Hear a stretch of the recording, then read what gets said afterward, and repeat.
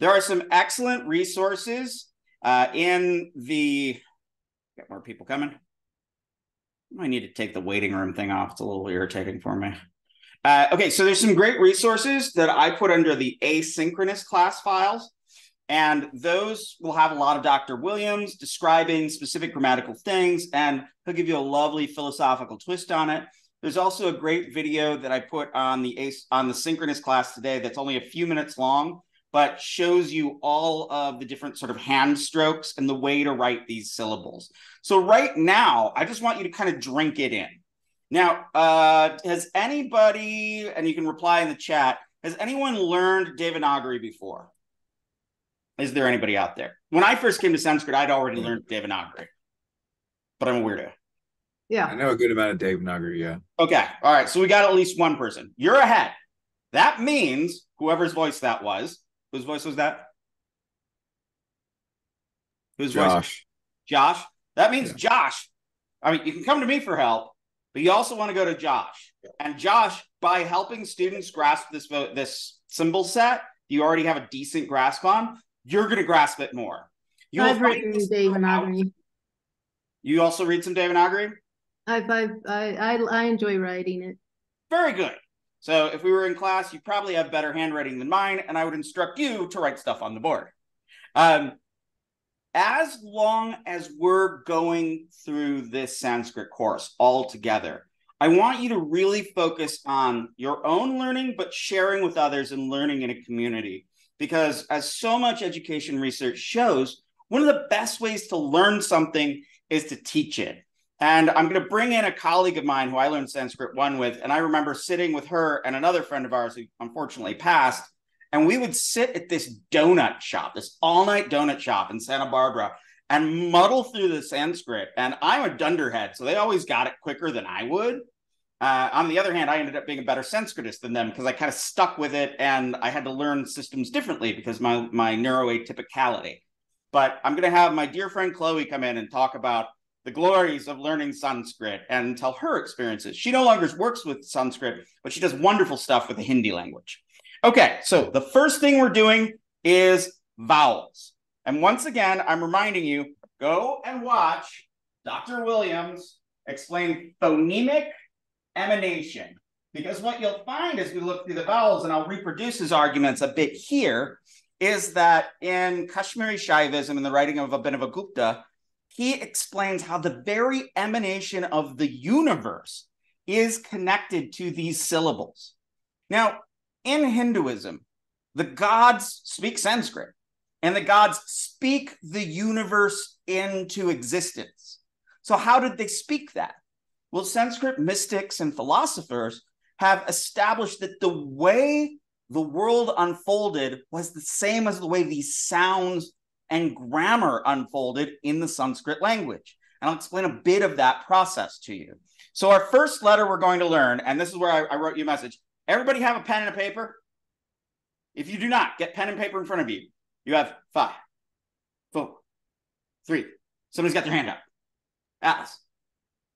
Uh, yeah, I just wanted to say that when you are turned away from uh, your recording station, it is more difficult to hear you.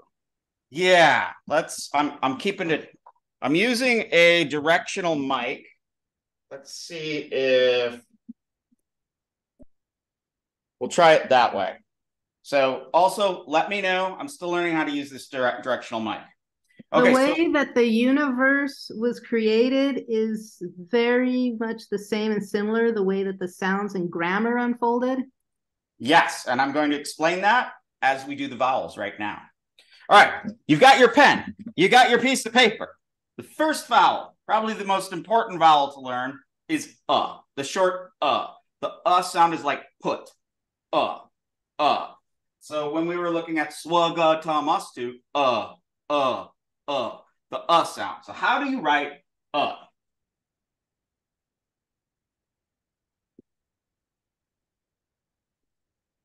That's uh. So now I want you to write that uh. You'll notice what I do is I make like a three, and then I put a line, and then I draw another line down, and then I put this line on the top. You'll see with Sanskrit, word, you will see with Sanskrit that words you can tell they're joined together, but and letters are joined together by that line at the top. So this is the first one, uh. Abhinavagupta uses this word. Ah.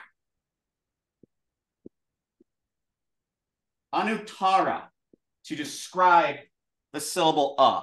So as God, existence, everything suddenly begins turning. It's as if there is nothing in the universe, and suddenly there's this strange amount of turning. It's almost as if it's a self awareness is coming to all that yet does not exist.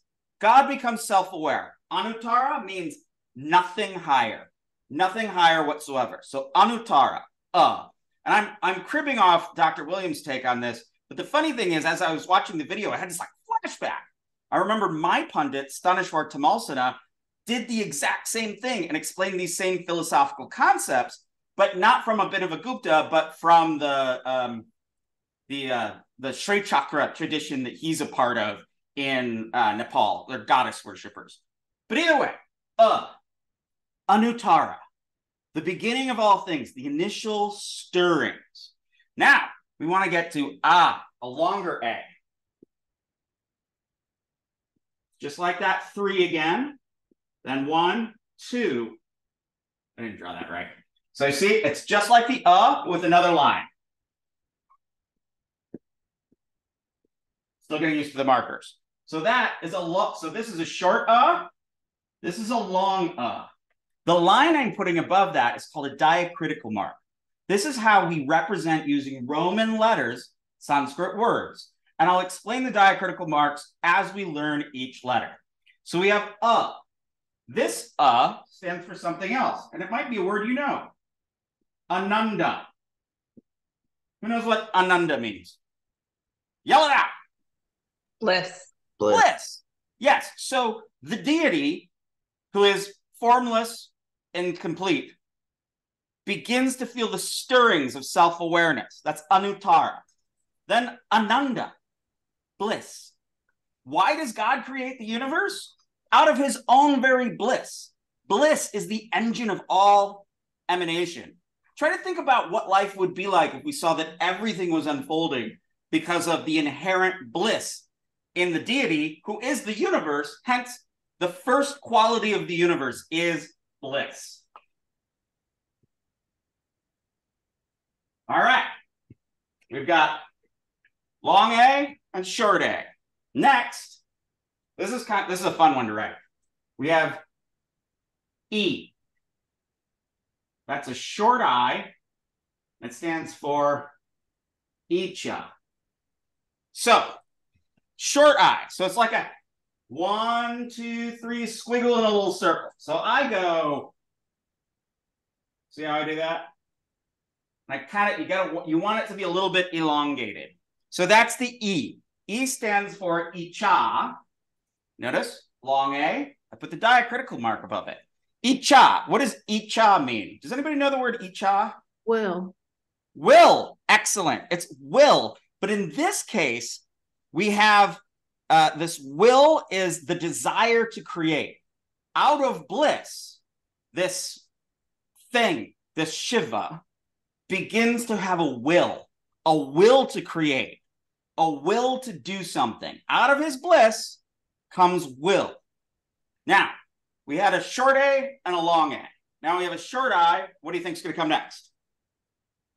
Long eye. Long I. So long I is just like short eye, except you put this little hook on top. That's it. Little hook. So whereas uh and uh just have a second line right there. E has the hook here. Also, we'll discover later, just have this in your head. If you have an uh and you're in a sentence and you have another uh after it, it will become long uh. Don't worry about it. We're gonna we'll get there together on that. But I'm trying to give you some previews and how some of this sandhi will work. sandhi is euphonic combination. So syllables and letters change depending on their relationship with other words in the sentence. So long E So we call it I in English. We call it E and E in Sanskrit. So we have a, a, e, e. So this long E stands for uh what, was it? What was my word again? Oh, it's Ishana again. E. Hold on. What what am I writing in? Ishana. Okay. Ishana means lordship. We'll see this with Sanskrit often. You'll have a word like, say, Isha. Isha means like lordliness or Icha. And then Ishana means like the thing that has that. So it goes from Isha or Icha to Ishana, meaning sovereignty. So the god begins to turn, uh, the god begins to feel bliss, ananda. And God, by God, I mean God, goddess, the whole thing. Then Icha, it has will. And out of that will becomes sovereignty, acting in a lordly manner, deploying the will. So, in this sense, our universe is still contracted. It's still only that one non that one non-differentiated thing. But that's going to change. Because now we come to ooh. Get that nice. Ooh. So that's a short ooh. Now for that, uh, Abhinavagupta calls this unmesha. Un me sha. And there's also there's also a word nimesha, and I'll explain why that's important. You'll see that I put a little dot under the S. That makes a sha sound. So unmesha, the Lord has sovereignty. He's beginning to direct his will outward to create. Unmesha is said to be the divine power of knowing. You may have heard the term jnana shakti. Shakti means power. Jnana is an, is an Indo European term for jna that is a cognate to our word gnosis. So, jnana here, we're thinking the power of knowledge, the power of knowing. I also love the word nimesha because it means the twinkling of the eyes. Unmesha means like the partial opening of the eye. Nimesha is the fluttering of the eyes closed. And in fact, a lot of the events in the Mahabharata happen in a spectacular place that is called the Nimesha Forest, the forest of fluttering eyes. So we have ooh, ooh.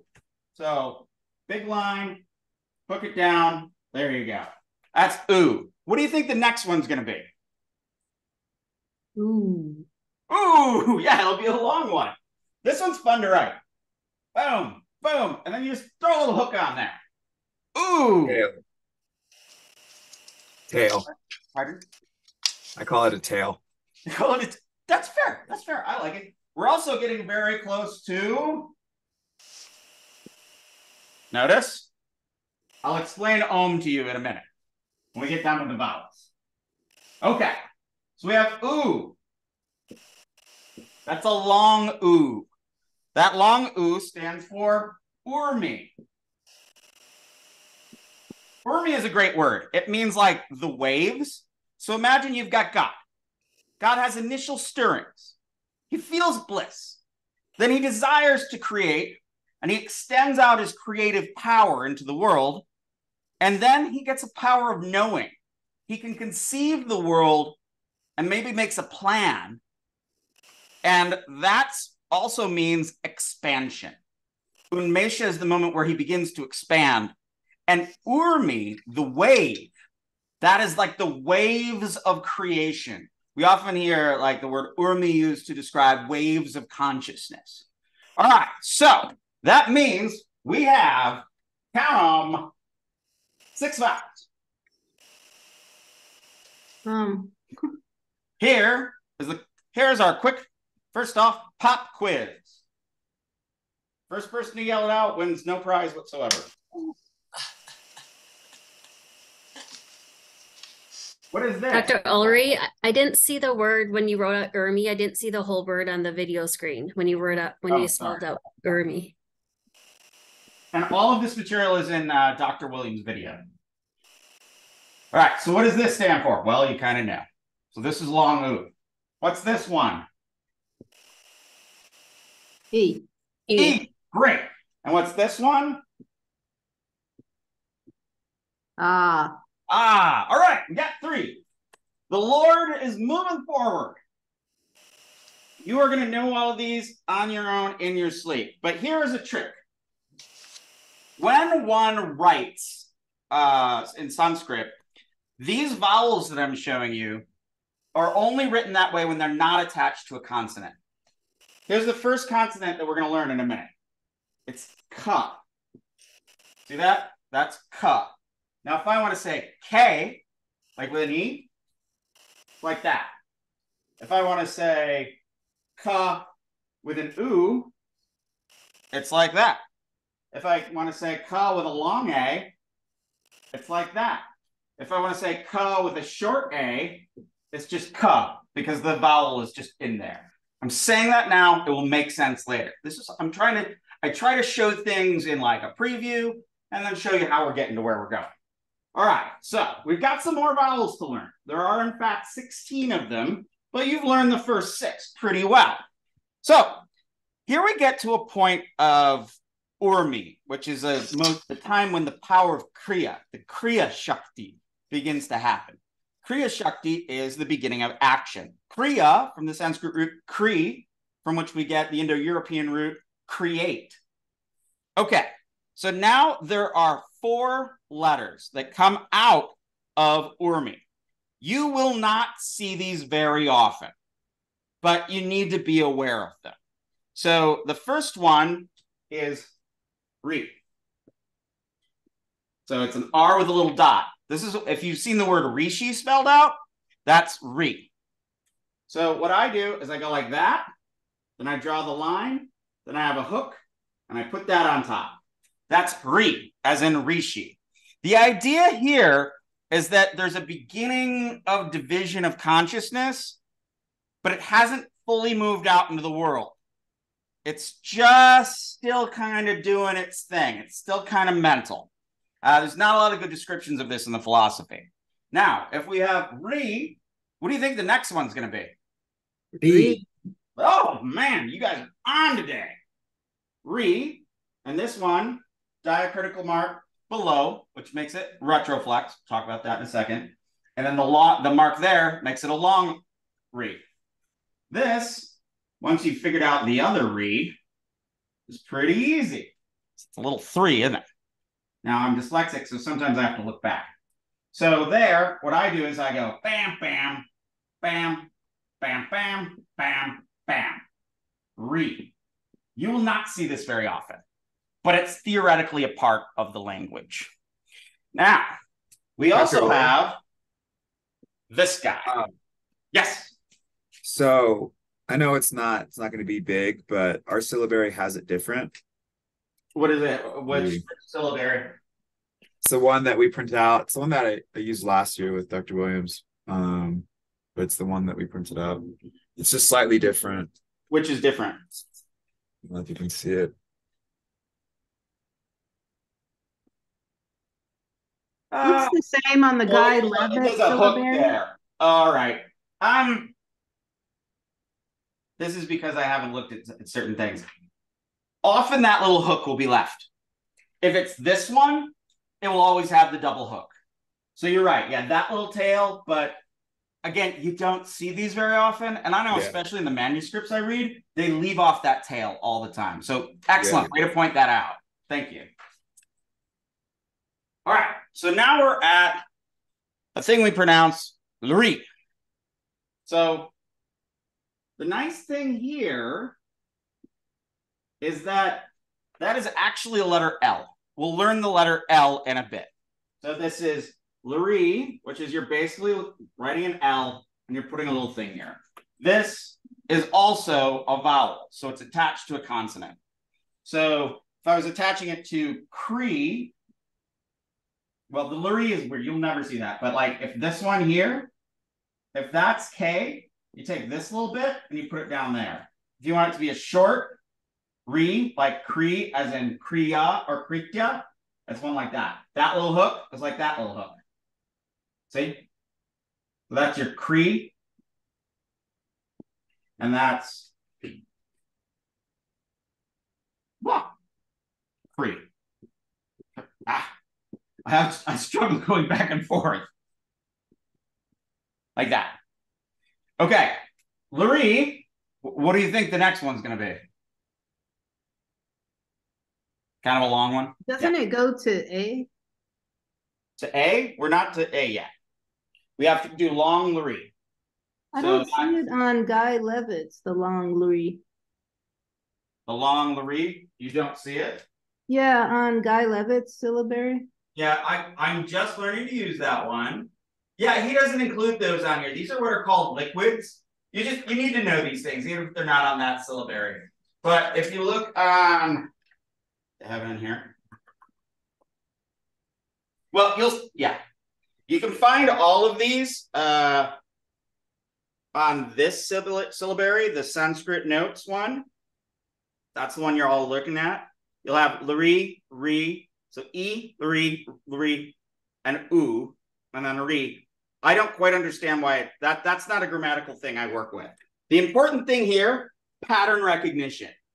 If you see these kind of funky looking things, that means you need to like go back and figure out what they are. You will not see these a lot. They're more they're more theoretical than anything, which is why it's important to go over them.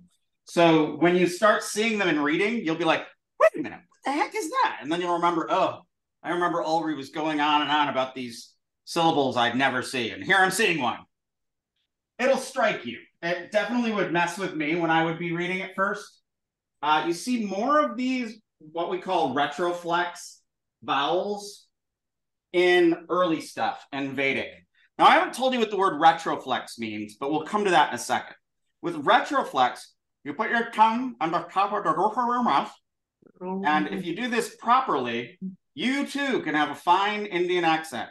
Let me see your tickets, please. The Indian accent often puts retroflexes onto words. So you are ending up saying, Let me see your ticket, please. Ticket, ticket. You put your tongue at the top of the roof of your mouth.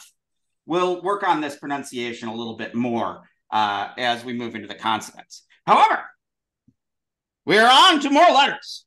Now, we are at, I think, one of the most elegant of the letters. That's E. It's pronounced A or sometimes eh, often A. So with this, it's really you swing it down like that, you swing it down like that, put the line on the top. It looks a lot like a triangle. That's a good way to think of it.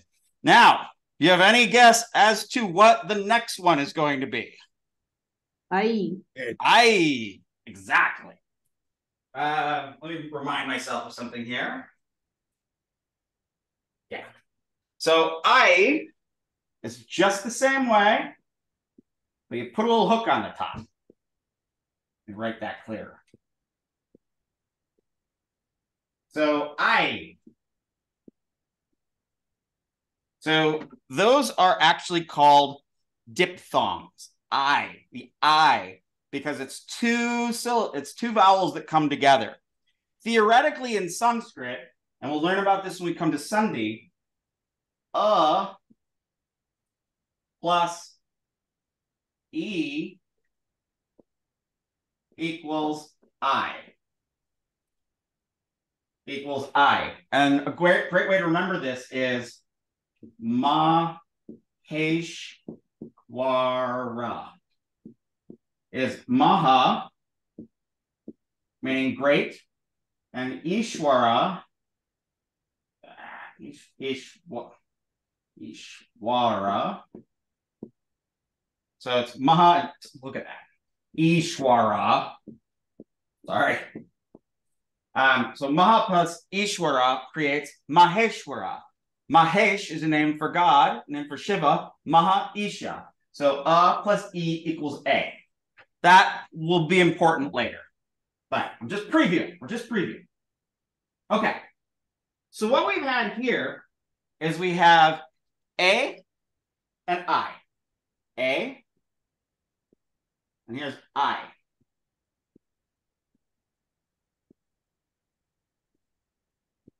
All right.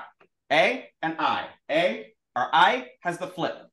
Uh, I always remember I as sounding like there's a there's a um, word for unto you is tasmai, tasmai. Or you can think of there's a religion called Jainism. So that's J A I N. Jain.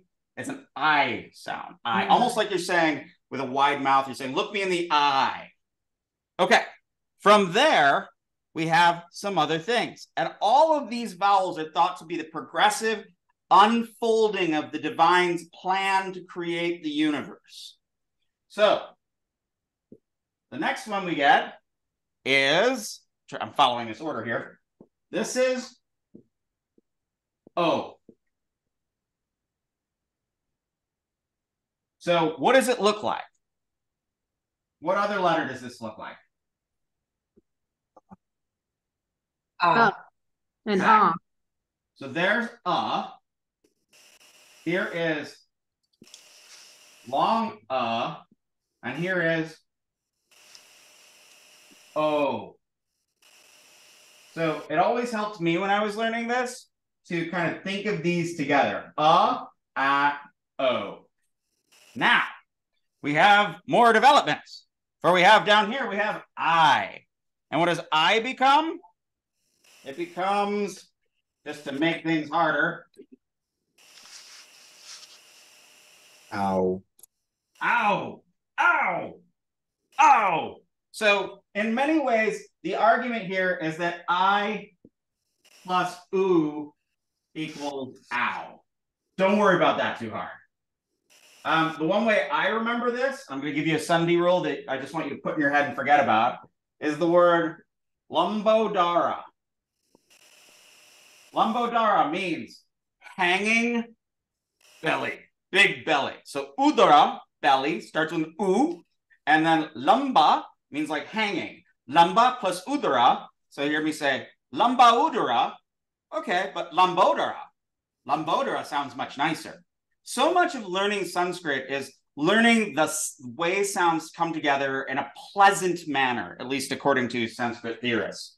We have two vowels left, and then you're going to have a break. Now, you're not going to think of these as vowels, but they are vowels. The last two are. Now, that's what? That's an uh, right? See that dot there? Everybody sees the dot? That's what's called anu, on, anu swara the bindu, the bindi, the tiny little point, like the dot on somebody's head. So in this, all of creation, all of the musings, all the vowels, all of the unfolding of the world comes into a single point.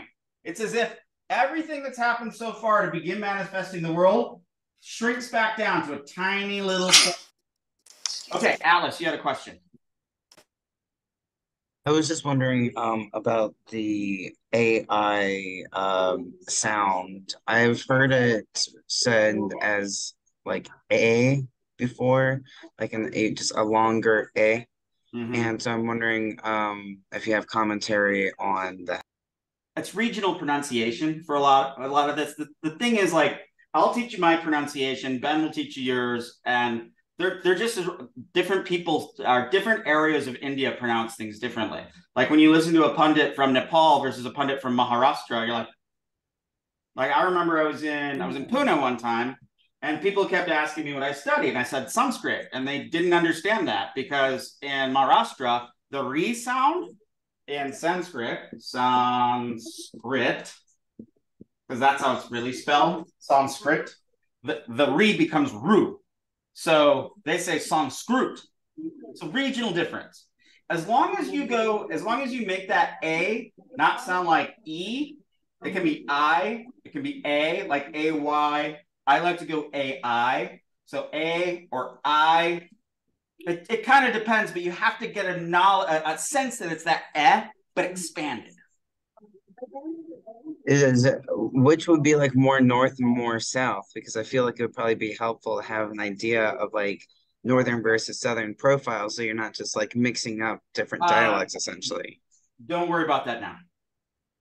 Okay. Don't worry about that now. We'll get there. We'll get there. For now, get the sounds in your head, however you need them to be, and we'll we'll do some chanting later, and that's where we'll work on pronunciation. I've consistently found that trying to teach people like the proper pronunciation and just the syllables doesn't work very well. It's only when we have full words that you can really that students really pick up pronunciation. So important thing to remember: I A A, but it's not A, and it's not E, or it's not I or E. All right, so Great, thank you. everything has come down to this one single point, this bindu. So God has taken all of that business and drawn it together into one thing. What's that word? What's that letter? Uh, Uh. So that's uh. And this is what's called a visarga. See those two dots right there? So what we're really looking at is the dots. Like if I wanted to use one of these on ka, it would be like that. It's just two dots and then ka again with an anuswara, the bindu, come. So what we're really looking at is these two dots in the end and the one dot above, all to the right. So the visarga, visarga literally means release. This is the last vowel. It all concentrates down to mu, to this mm. It's not even a mu. It's like mm. Like when I say tratakam, the mm at the end. Or ramo vanam, mm, the mm.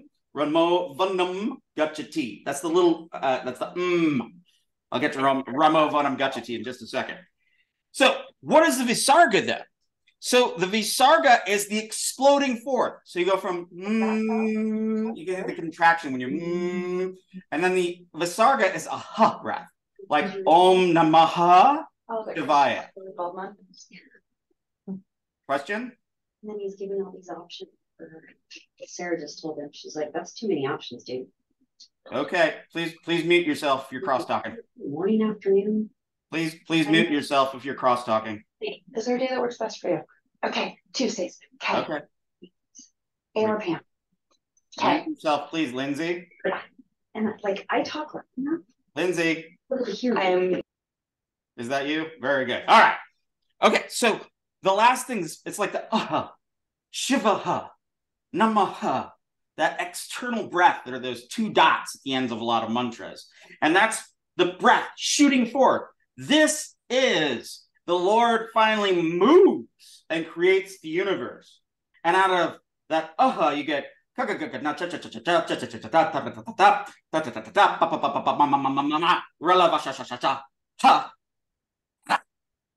I'll get to all that. Uh, ben does it a lot better than I do. He gets a really beautiful staccato when he says the, the consonants. So we are done with the vowels. So I want a quick, this is a quick lightning round. Lightning round. What is this? I Hi, very good. I,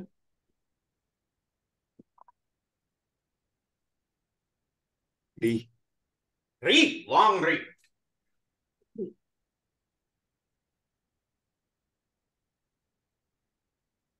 ow That's No. O. And I suddenly realized we didn't do ow. So you have short O and long O. That's ow. Like, like an AU. Sorry, I missed that one. So you only had 15. Now it's 16. So that's ow. So after your O, and that's O plus actually a U equals ow. AU. Like my initials. Okay, then uh let's go to A A A A A A E E E. That one. E E. E E. E. Excellent. Now, what I want you to do, take five. Do some yoga, hang around, whatever you need to do. We'll have five minutes, run to the bathroom, um, do as you wilt. And then when we come back, I'm going to do the consonants, but I'm going to move a lot faster because I want you to, the, the real lesson today is these vowels. These are the things I want you to have down cold. Now I'm going to introduce you to the consonants when we get back. We're not going to go into the philosophy of them all, I just want you to get a good overview, and we're going to go into the consonants in detail next Tuesday. So go on your little break. Recording. Uh, if you're just joining us now, I explained um. Oh well. Okay. Up here at the top is a we're gonna do the consonants, and consonants are called vyanjana, whereas vowels are called swar. Up here at the top, and I'm not kidding you, this phrase, Ramo Vanam Gachati. That will be the phrase that will unlock all of Sanskrit to you. Has anyone ever heard this phrase, Ramo Vanam Gachati? It's Rama, Vanam to the forest, Gachati. Rama goes to the forest. All of the readings that we have in Goldman and most of the examples will be extracted from the Ramayana. The Ramayana is the second epic, great epic tale. I think Mahabharata is better of uh, India. And the Ramayana is a story of God as Ram, or maybe God. I don't think he's a guy. It's, it's the whole thing. And he goes into the forest because of some horrible things that happen that we're going to read about in all of our readings. And he goes to the forest, and his wife and his brother come with him. They go to the forest. His wife gets kidnapped by a demon named Ravana and taken to Lanka. Rama finds a monkey army and he goes and tears crap up, kills Ravana, gets his wife Sita back, and all is good until he starts getting Rama gets all upset, gets all upset. Maybe Sita said she was faithful to me, but maybe she was, and I don't know. How could I ever know? He asks Sita a couple of times, and finally she says, Look, douchebag, I'm going to pass through a fire, my Agni Pariksha, that will prove my purity. So she walks through the fire, she's unburnt, and Rama's like, Oh, hooray, you're pure. And she's like, No, no, no, no. You asked me three times, I did this thing. I'm going home to where I came from, to my mother and father in the earth. And she disappears to the ground. And Rama rules on until he dies. But luckily, he does end up having Sita leaves their two children behind. So that's the Ramayana. We're going to do a lot with the Ramayana. So repeat after me. Ramo, Ramo, Ramo, Ramo, Ramo. Ramo, Ramo, Ramo. Vanam, Vanam, Vanam. Vanam, Vanam, Vanam. Vanam, Vanam. Vanam. Vanam, Vanam. Vanam. Gachati, Gachati, Gachati. Gachati, Gachati, Gachati. Gachati, Gachati, Gachati. Gachati. Gachati, Gachati. Ramo Vanam Gachati. Ramo, Vanam. Vanam, Gachati. Ramo Vanam Gachati. Ramo. Vanam. Gachati. Ramo Vanam Gachati. Ramo. Vanam, Gachati. Now, if you meet anyone who's learned Sanskrit using the Goldman system and textbook, if you just say Ramo Vanam Gachati, you'll both laugh and become best friends. It's guaranteed. My friend Chloe says that this is the most beautiful phrase in the Sanskrit language. To this, we have a, a thing called a Mahavakya. Has anyone ever heard of a Mahavakya, especially in the context of Vedanta? It's like a grand statement. Yeah. A great saying like tat tvam asi tat that twam you asi are you are that so this becomes a mahavakya for you studying goldman i promise all right now consonants where's my black marker we're not going to go through these as complicated as i did with the other ones but as i'm writing them i want you to be writing them so the first one we're going to start is is a dead marker. Screw that marker. Let's go green. You're yeah, nah, it's a little too light. Let's go blue. All right. Ka. All right. So you see how I do that? I just kind of squiggle around like that. One line, and I put it over on the top. That's ka. After ka, will become ka. Wow. Let me get on this side here. Sorry, I'm lefty. Ka. So ka and ka.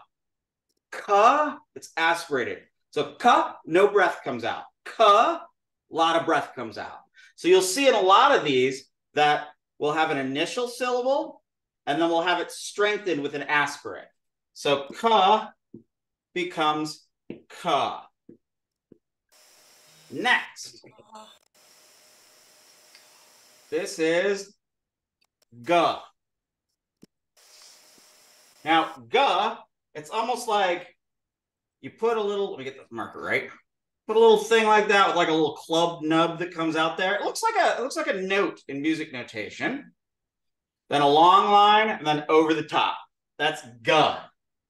Anyone want to guess what the next one's gonna be? Duh. Ga. Yeah, exactly. Ga. So with this, it looks similar to another letter. The key aspect to remember is this line over the top. And I'm not going to tell you what the other one is right now, but you'll see it. So like that. So two little humps up to the top. Slap that bad boy over. Ga. So this is a class of consonants. And the way we categorize consonants in Sanskrit is based on their position in your mouth. So we have ka, then we have cha, then we have ta, then we have pa, then we have ma. So follow after me, and I want you to find where that sound is in your mouth. Ka, Ka, Ka. ka, Ka. ka, cha, Cha. cha, cha, Cha. cha. Where's the sound? Cha. Yeah, yeah. A little It's higher. like back here. It's like ka is down here. Cha. Cha. Yeah. So this is called palatal. It comes from your like your right at the back of your soft palate. Cha. Sure. Then the next Cha. one is Cha. ha. Remember I was trying to get you to put your tongue on the front of your teeth? This is called the the, the dental class. Ha. ta, Uh, Ta. Ha. Swagatum. Swagatum. The ta. Swagatum. Dental. So your tooth, your tooth and your tongue. Ta ta ta. Ta. Then we get to the labials. So those are your lips. Your lips go pa Pa. pa. You feel how that's your lips? Pa pa, pa. And then we're gonna do ya, sha, and ha, but we'll do those when we get there. So this is the first class of noun or of consonants. Consonant, uh, the word is vyanjana. So if you're writing long, your first is going to be ka. Then you go ka, aspirated. Then you go ga. Let me walk away from it. And then you go ga. And all of these classes that are gutturals, so ka, ka, ka, ka, ga, ga. And then finally you have na. I didn't write that nicely. No. Does So- the na have um a uh on the syllabary here? The na has a dot. Yes. See it right there? Right there. Here, I'll draw it again. Oh, I couldn't see it. Yeah. No. I need to have a different color there. But yeah, that that's really important. So here we have ka, ka, ga, ga, and then this na is written with a dot above it. There'll be a na with a dot below it too. So now I want you to repeat after me. Ka, ga, or ka, ka, ga, ga, na. One more time.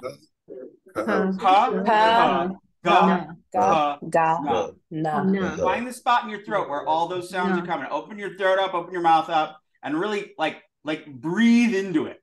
Ka, ka, Ka, ga, ka, ga, ga, na. na. Na. All right, one more time. Ka. Na.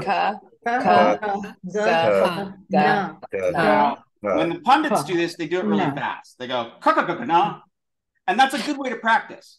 But you go ka ka ka ka na, and if you say it, try saying it really fast. Ka ka ka ka na, ka ka ka ka na. Na. upset people. But notice when you say that really fast, you know the exact spot in your throat where the sound's supposed to come from. Unlike English, the Sanskrit alphabet is directed according to sound. And part of that sound is the place in your mouth. Now, I'm going to teach you the next class, which is going to come from palatal. Cha. Say cha with me. Cha. Cha. Cha. Cha. Cha. And then we're going to go cha cha cha cha da. But we're not there yet. Before we do that, I want to make a short little statement about this. What does that mean? Oh, Om. All right, let me hear an ohm from a couple of you. Let me come bring it out. Oh. Um, Yeah, everybody ohm for a second. Ohm. Ohm. um, Ohm. Om. Om is known as the pranava. Pranava means the primordial syllable, as if it's what all things come from. And there's an argument that within the Om, there are all the sounds of the language of Sanskrit. So get ripe with it. Listen, listen to me do an Om, and then I want you to do one. But get ripe with it. Start to get right back here, right back here to the gutter. Um,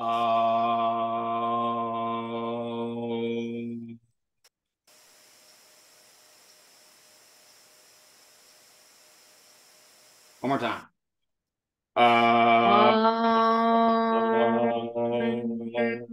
It does travel. See, all the way there. And you get all the way forward to the ma. And these ma are the labials, the lips. So in there, you get all of the positions of the Sanskrit language are found in the om. So, ah, ah. Yeah, this I'm I'm really good at teaching this. It's great. Okay, so our next one is cha. And remember, I call these guttural. They're also just get called by this first one. So it's there's a word called varga, which means like a quality or a class. So when you're talking about these uh, consonants, they'll be called the ka class. Ka, guttural ka. So I don't know if it, it's if this helps you by thinking about the spot in your mouth when you're pronouncing these, that's great. If it doesn't, that's okay too. These are linguistic terms, but pundits would just call these uh, syllables of the ka class. Ka varga vyanjana. Someone have something to say? All right. So we're at cha. Anybody want to venture to guess what the next one's going to be? Without looking at your syllabary? The the Cha. difference between cha and cha is the aspiration. Yes. So we get to cha, which is one of my favorite ones to write, and that's cha. Now, here's where it's confusing. Sanskrit always says cha. They don't have our like, the, if it's going to be a ka, like in can, they'll use a k. So the Hello? C sound, what we think of as a C sound, Oh, is always hi. cha. And the distinction here is cha and cha. It helps to breathe out. You're aspirating. Spirate from spirit. The spirit is the breath of life. Cha, cha, cha, cha, cha, cha. Now you're noticing where that is in your head. Cha, cha, cha, cha, cha. You can cha, cha, cha, cha, cha, cha. You got that. It's right like the back of your tongue is hitting your soft palate. Cha, cha, cha. And then we're going to get. You never thought of these sounds going together, but once you understand the Sanskrit alphabet, they really do kind of intuitively make sense. Ja. Let me hear you. Ja. Ja. Ja. This is like I'm going to a job. Ja. Ja. Ja. Ja. Wait, anybody want to guess the last, the, another, the next one? Ja. Cha. There you go. Cha. This one screws with me every time. I've always struggled with it because it looks so much like the I. And I just have like my dyslexia does not work with me on this one. I know it when I see it, but it's always hard for me to write. So it's really something like um let me try to do it like a proper way. It's like this. ah, yeah, I just can't do it. That's how I write ja. You'll know it when you see it. So I like to think of it as just like an it looks like an E, but it has a, its own line because E would be independent. It wouldn't have that line there. So this is ja. So cha cha cha cha cha cha cha cha cha cha cha cha cha cha cha cha cha cha. I need a na. What's my na? There's got to be a na. Always a na at the end. This is a na, and you see the little uh, sort of tilde above it. It's like the Spanish ña or like conejo. Um, what I like to remember this one is it's the na in ñana. So if you say ñana, your tongue gets there. Nyana. Like no, like gnosis, ñana, ñana. Nyana. And Nyana. now here's where it makes sense. Cha cha ja ja na.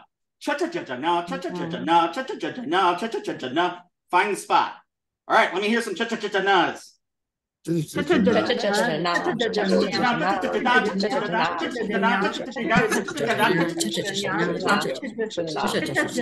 Saying it fast will get you there. Now we review.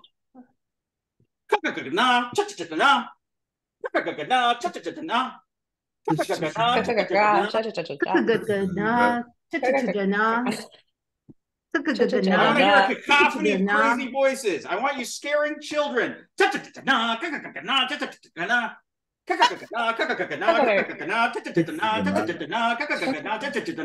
Trust me, you are going to be able to do that in your sleep and terrify everyone around you. And we watch the video in the way that Ben says them even faster than I do. Okay, so this is the class that is called the palatal. Cha-cha-ga-ga-na, cha-cha-cha-cha-na, cha-cha-cha-cha-na. Sometimes when you're lost on pronunciation, you just remember the sequence. So if I'm like, if I'm doing a ja, and I remember, oh wait, ja sounds like cha. So ja, cha. Okay, I got it. So the very alphabet tells you how to pronounce it. All right, we're moving right along. Oh yeah. Oh yeah. Love my whiteboard. Hey, y'all like my kitchen? We just got new appliances a little while back. Someone in the family makes money. That would not be me. All right. We are moving to something new and exciting. These are the retroflexes. I would argue that the retroflexes are some of the hardest to do. I'm recording, right? Yes. Okay, that might my thing got I, I get concerned. Okay, retroflex. These are called cerebral, and this is the ka class. So we had the ka, we had the cha, and now we have the ta. Remember I told you about the Indian accent? Let me see your ticket, please. Huh. Let me see your ticket, please. Ticket, ticket, ticket, ticket. The retroflex. That's where you get there. The tongue and the top of the mouth. And you can be sure we're going to have fun with this one. These are some of the hardest for me to pronounce, and they're very characteristic of India. Um, different languages have more retroflexes than others. Telugu has tons of them, in fact. And you can also, theoretically, there was an argument that Sanskrit, before it came to India, when it was Old Indo-Iranian, had no retroflexes. And the Indians, when they encountered this language, they put all these retroflex sound in there because that's more sonorous to the Indian ear. I think they're kind of hard to pronounce, but once you see them in the context of a word, because of the way words come together, you get you'll get a feel for it. Okay, so the first one is pa. Pa. Pa. Pa. Pa. Pa. Just Get your tongue over the top of the pa. Pa. Pa. Pa. Let your tongue your tongue knows how to do this. Pa. Because this is the language of the universe and everything comes from this, you already know how to do this. You're let your tongue do the work. Pa. Pa. Pa. Pa. What do you think the next one's gonna be? Pa. Ah, there you go. Now, in diacritics, we put this little dot below the T. So ta. Here, this will take you a while to hear the difference, but pa and pa. Pa, Pa. pa. Pa. Pa and pa. Pa. Yeah, got it. All right. The next one is gonna be duh. What does that look like? I E. Uh, this is the this is the Ta class, the Ta Varga, and they're called cerebrals. So cerebral, like cerebral being mental. Just think of how your tongue comes up. It's like your tongue touches your brain and then flaps on down. So ta, you have ta, Ta. ka, and then this is ga. Ga. Same thing with your tongue, but where it's a ta, your your T starts high in your mouth, huh? The D starts like right at the middle of your palate. Duh. Duh. Duh. Da. Duh. Da. And what do we think the next one's gonna be? Duh. Da. Yeah. Wait a minute. Am I doing that wrong? I have this sudden weird thing.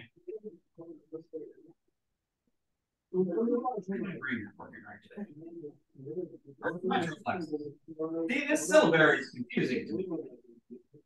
Yeah. Ta, ta. Okay, yeah, that's the thing. That's what I forgot. This is because I don't write as much as I used to. I don't want to lead you astray. It doesn't have a little tail. You'll see that there's another consonant that has a little tail. So with this, and one of the ways I always remember these is other than this one, they have a lot of little, they have a lot of circles. And then finally,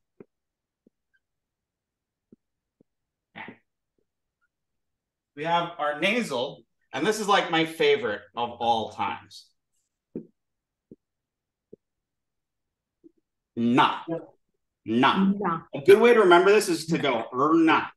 Like a er, er na. Er, nah. Or na. Nah. And often when people are spelling out, they'll they'll they won't say na, they'll say or na. Or not. They throw a little read on there, like the retroflex read. So they not. So pa, pa, da, da, na. No. Gotta pay attention. ta, to your da, da, nah. So repeat after me, each after each one. So one at a time. Pa, Pa, Da. Da. pa, ta, Pa. pa. Good. Da, da, Da. da, da, Da. da. Yeah, put a little aspiration there. And finally, rana, rana. nah, Rana. nah. I mean, if you can just go nah and get it, but I, I- putting that little re on there helps me. Rana, rana. To get your tongue there.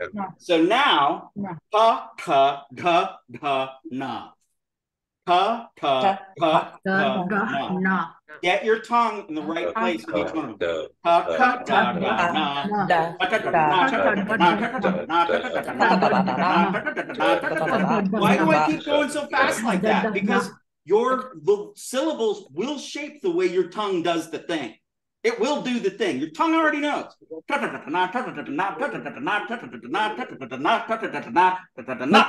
I want you to be upsetting everyone around. Can you do it the other way around?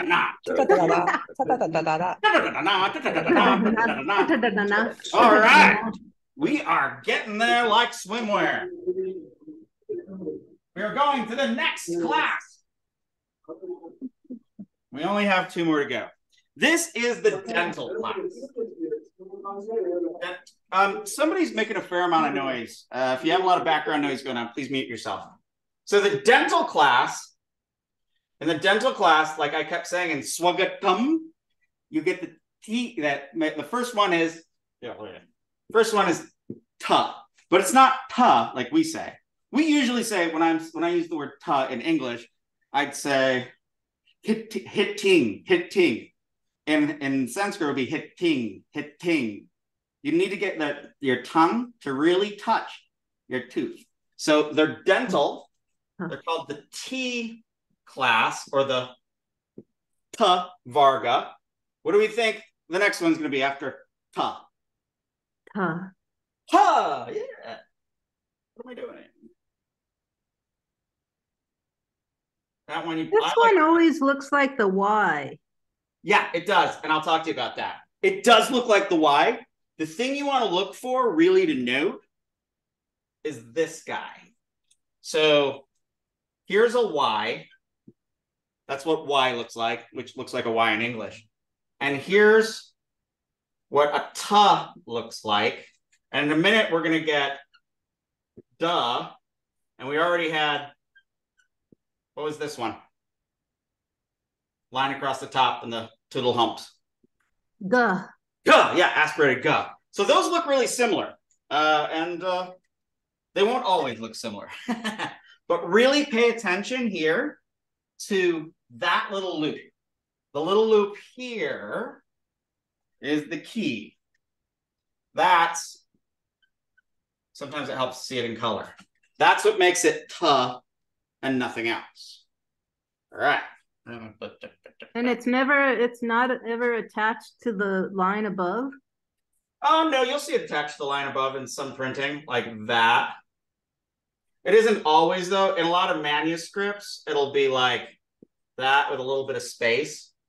But it's just the presence of that little circle there that makes it.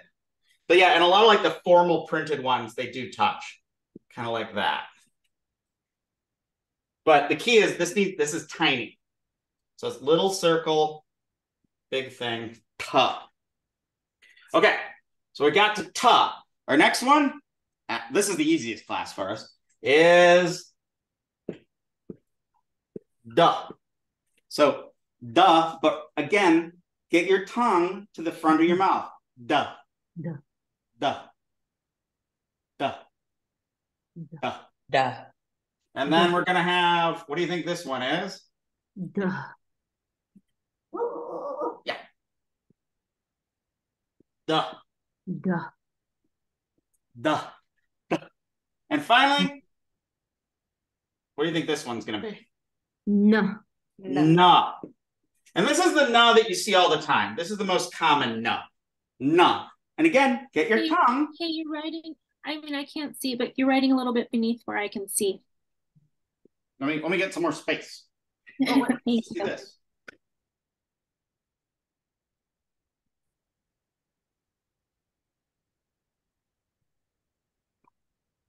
So this one is no.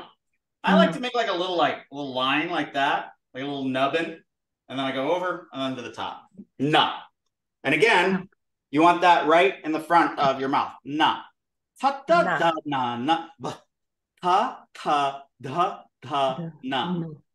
Ta Duh. Da, da, da, da, na. Da. Okay, Atlas, you have a question.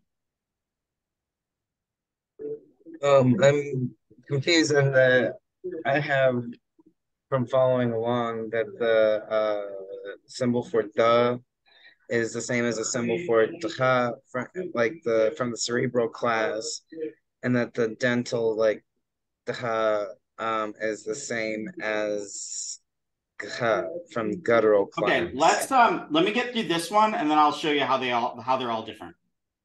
I'll get you there. Trust me. There- There's a few more steps and then it'll be clearer. All right. So we've done na. So these are all dental. So this is where you repeat after me. Ta ta da da na.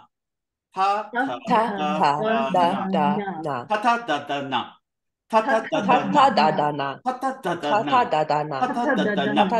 So much of Sanskrit is muscle memory. It's a language that you don't read with your eyes, you read with your mouth. You gotta say it out loud.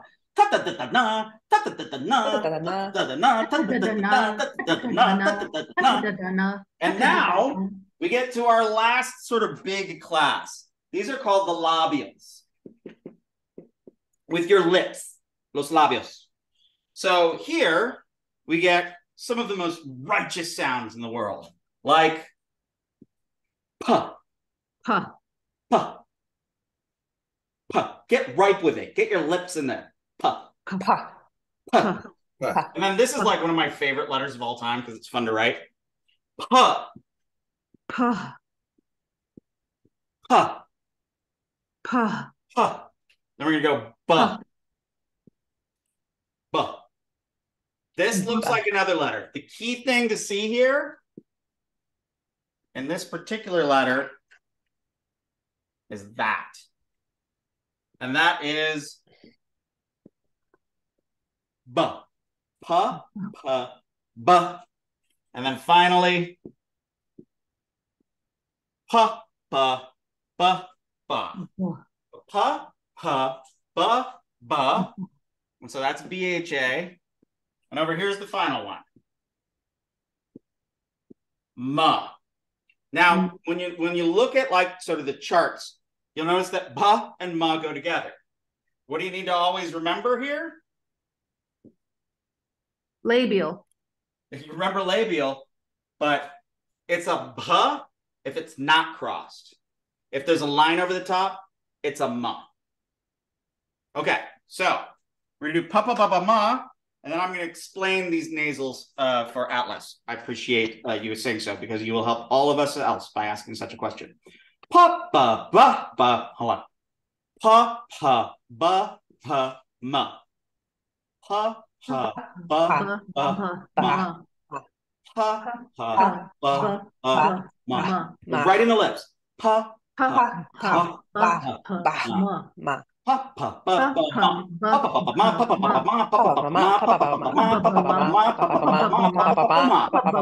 Get ready to scare children.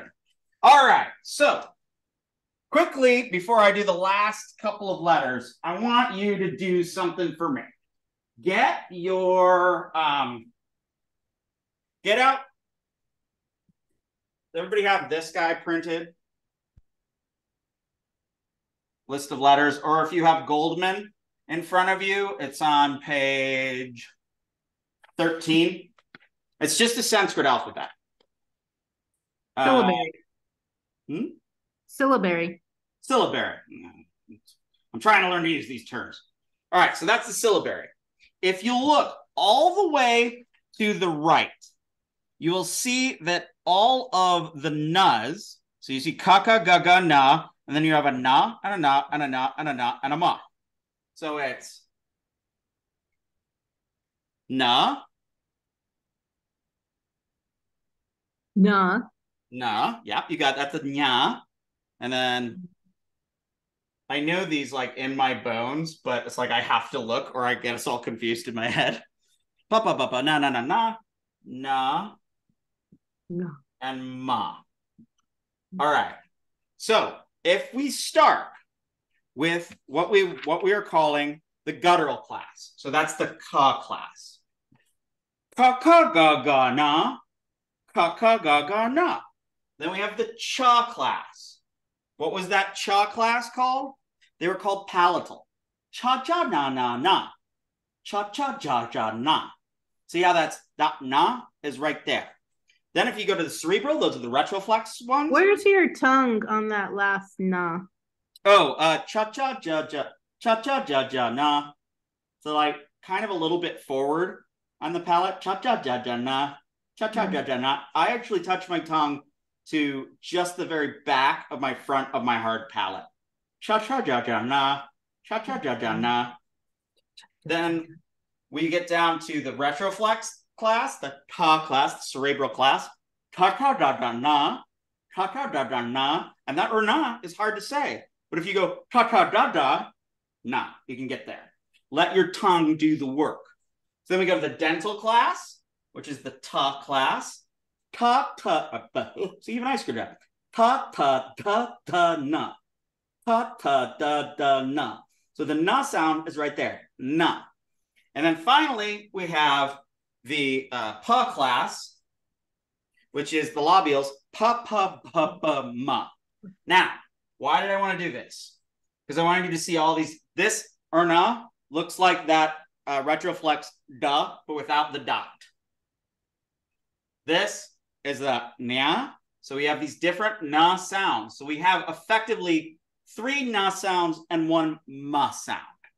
All of them should be considered to be connected in the sense that they're similar sound, but each one has a particular way of pronunciation depending on where it is in your mouth. Now, I defy you to say na without using your lips. Give yourself a try, No. no. or with using your lips. It has to be ma because you can't make a na sound with your lips. You can make a na sound. You can go na Mm. na na, but I, I can't even find a way for my mouth to make a na sound with my lips. So again, the way that this alphabet and syllabary are organized dictate the way that you will use them. Also, unfortunately to say,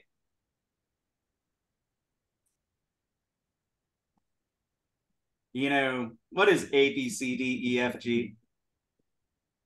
It's an alphabet. Different because that's an alphabet. Yeah, well, there is a little bit of an alphabet to Sanskrit. When you open up a Sanskrit dictionary, it will start with short uh, then long uh, and then like the u and the a, and then you go ka, ka, ga, ga, na, those are the headings for each word class. When you look something up in Sanskrit, and the reason why I'm teaching you all of this in this order is because this is the same order that Sanskrit dictionaries will use to organize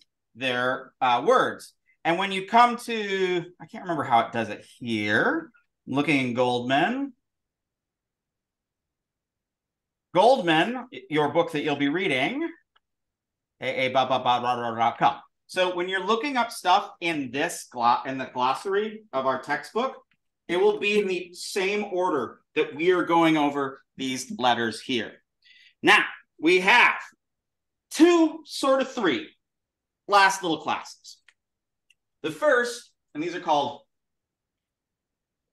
these are called semi-vowels because they use kind of the part of your mouth that you would make vowels with, but they're also very consonantal. So the first one is the easiest one. Yeah. Yeah. Yeah. I mean, yeah, just that that should be an easy one for you. Because it looks like you, it looks like yeah in English. Yeah. Yeah. And now you get, then you get ra. So when I do ra, one line, two line, top line. And for me, this is ra. I've always looked at this and seen an R. I just, I see an R in it. I don't, I don't know if you do, but this, it's not hard to see that as ra. So ya, ra. And here we go to another one. This is la. What does that look like? It looks like om put on up on the bottom. Yeah, but it also looks like re and lri. So that's the same. That's a la sound. So ya, ra, la. And finally, and I've always thought that this one just kind of makes sense intuitively as well. That's va. But what does it look like? It looks like ba. So a ba is like a va with a line through it. Now let me write them right in a line. Oh, oh, oh, oh. We're getting close to being done, y'all. We're getting close. All right. Ya, ra, la, va. So you've gone ka ka ka ka na cha cha cha cha da ta ta ta ta na ta ta ta ta na pa pa pa pa ma ya ra la va. And that's how they just they slam them right through. After you hit that ma, you go ya ra la va. Now notice ya ra la va. When you say that out loud, where is it in your mouth? Say it with me. Ya Ya ra la va. Yarolova. Ya ra la va. Ra ya la va. It's kind of like right in the middle there, and it's not quite like the staccato of a consonant. So that's why we call them semi-vowels. And these very often are attached to other mm-hmm. words. It's sort of like palatal and retroflexal. It's sort of Yeah, yeah. Um, can't remember the exact linguistics of it. Yeah, they're a little like a palatal and a retroflex. I like that way of putting it. Uh, all right. So finally, we're going to get to these classes called sibilants. The important thing to remember here is these are S sounds. So this is the first one. And that is in a retroflex or in, a, in diacriticals like that.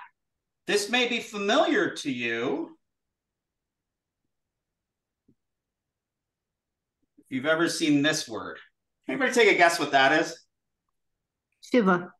Yeah. So there's a sh, and then we haven't learned this vowel thing yet. I'll teach that to you next time. So that's Shiva. This is how you write an I vowel when it's not standing on its own, when it's connected to another consonant. We'll get to that. Don't worry about it.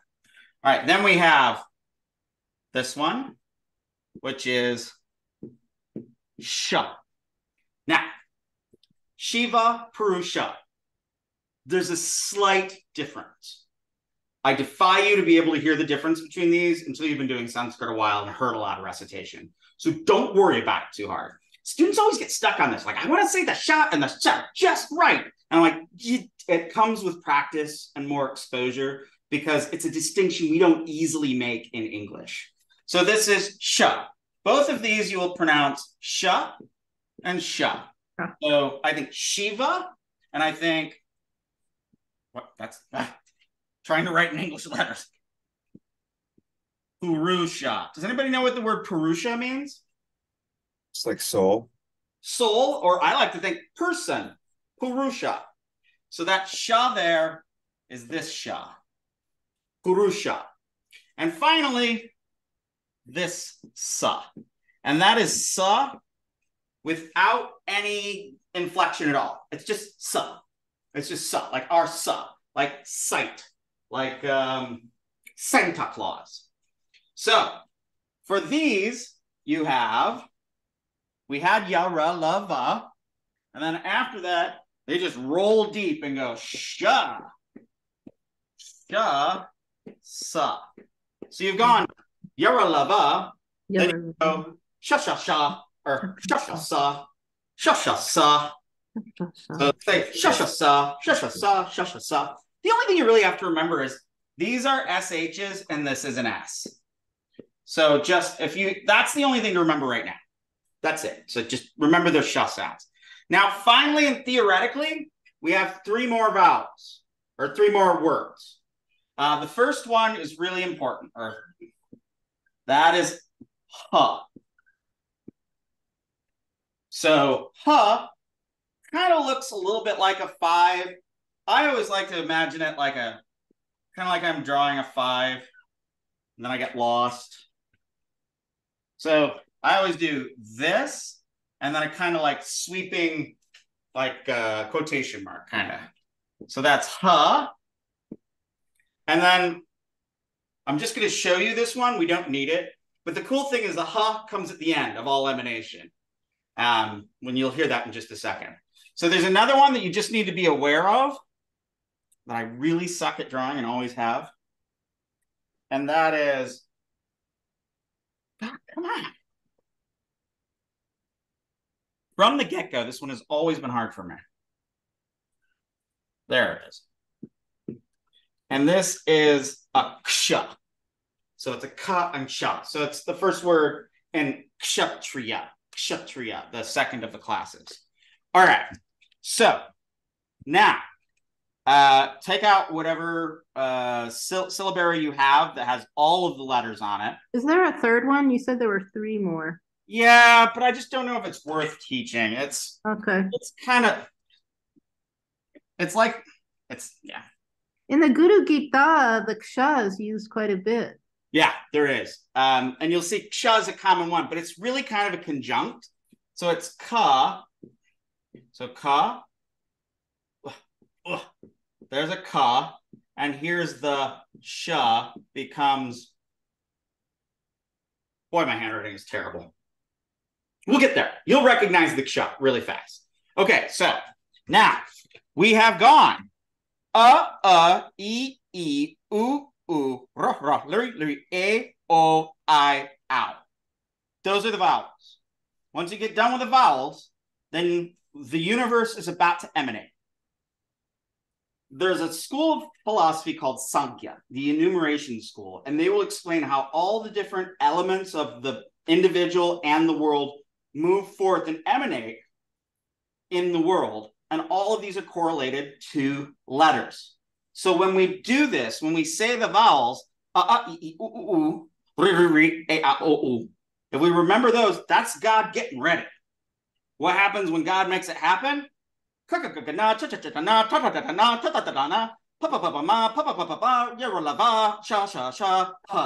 And maybe shy. So what I want you to do is I want you, oh, it's Sankhya, Sankhya, which means the uh, kya is a root, it means to speak. And sun means well or good, like Sanskrit, well put together. Sankhya means something like almost uh, the perfectly enumerated.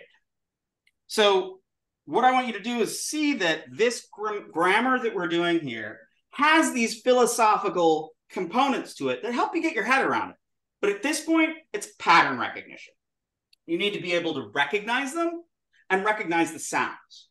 So, your homework is going to be uh, these worksheets and there's some great asynchronous uh, supports for this. So on one of these, you're just going to write out all the vowels.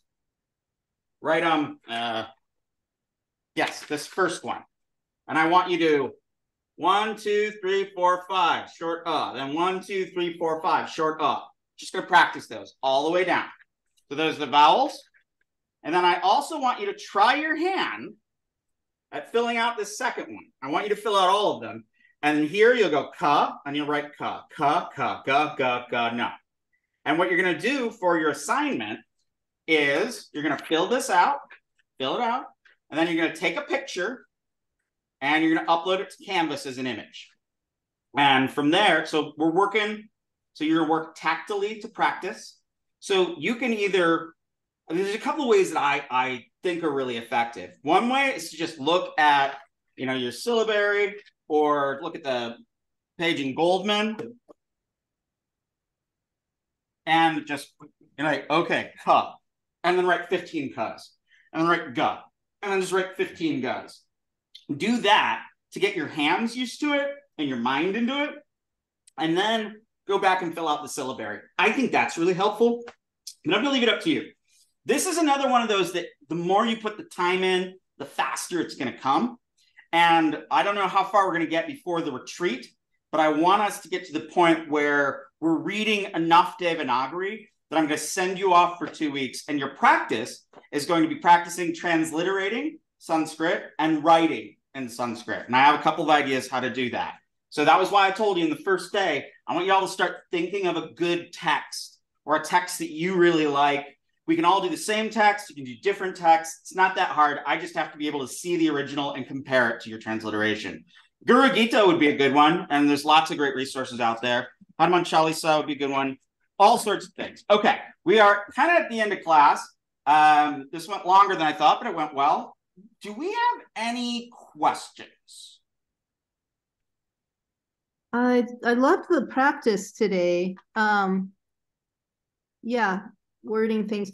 I guess is there any chance um I think for me doing things on the weekends, the videos, I don't know when you're going to be uploading videos like from Ben. Um or is it possible for us to view those on the weekends? Uh yeah, I had the asynchronous one up before, but well, we just started. Yeah. Yeah. So what I'll do probably is have the asynchronous materials up. I'll get them up on Friday, if not earlier. Yeah, I hear you. Okay. Absolutely. That'd be yeah. and then really- today, uh, I actually I have to drive my partner to a Phish concert immediately after this. But uh, so I won't have a chance to convert and get this file up. But you will have every class file right after class. I'll do this whole thing. Like you, this thing that you've got here, you'll have the video of. I'll usually put it up within a couple hours of class being over. It'll probably be tomorrow though on this one. But yeah, so you can review what I did. You can go over what uh, Dr. Williams does. And every time I write that asynchronous thing, when I say asynchronous materials, I want you to go through those either before or after the class. Watch them, see what's useful, see what's not.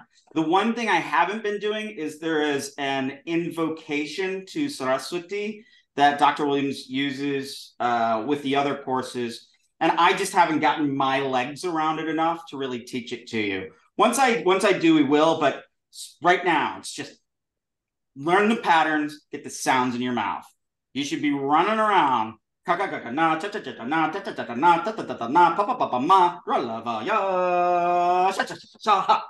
You should just be annoying everyone with that. Get it in your head. Scream it at children. Terrify geese in the lawn. Magic. It's the very body of God. This is the very transformation of the universe from pure potential into something. Was God going from A to H? So it's kind of a big deal. But also, the more you say it and the more you get your tongue around it, that your tongue will teach you. Keep practicing. You'll be there. Your assignments are up. Fill out that syllabary. We're going to go over the consonants more next semester or next week. And we'll also start with how to write the vowels with consonants and a thing that will initially trouble you, which is conjunct consonants. And a conjunct consonant, when two letters come together, like ta and say ra, ta plus ra equals tra, as in man mantra. In mantra, there's the ma. That's part of an N. That's a T, an R, and an A. Mantra. This will freak you out. We've got good resources for it. It's just familiarity. And soon you'll just look at that and you'll naturally see it because you can see the ta in there and you can see the rut in there. But yeah, we'll get to conjunct consonants next. Any questions? Good class. I know you guys got to go do your do your business.